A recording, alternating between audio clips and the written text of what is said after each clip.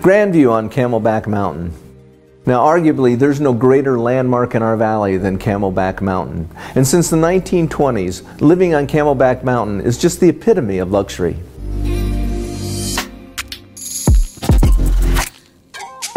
So this incredible Camelback Mountain home is nestled right into the hillside, offering superb city light and hillside views.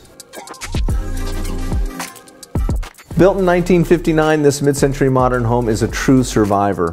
While there's been some changes through the years, the architectural heritage of the home is really intact.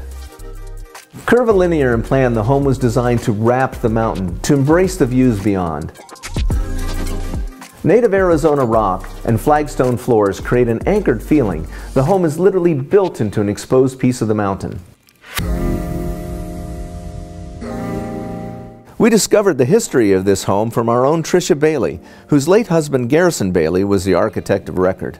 Garrison's amazing career found him studying with Frank Lloyd Wright, and then later partnering with architect Blaine Drake, even spending time with Paolo Soleri at Cosanti.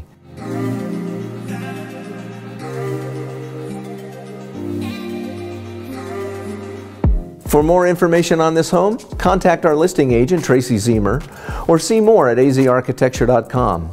For Defining Desert Living, I'm Scott Jarson. Thanks for coming by.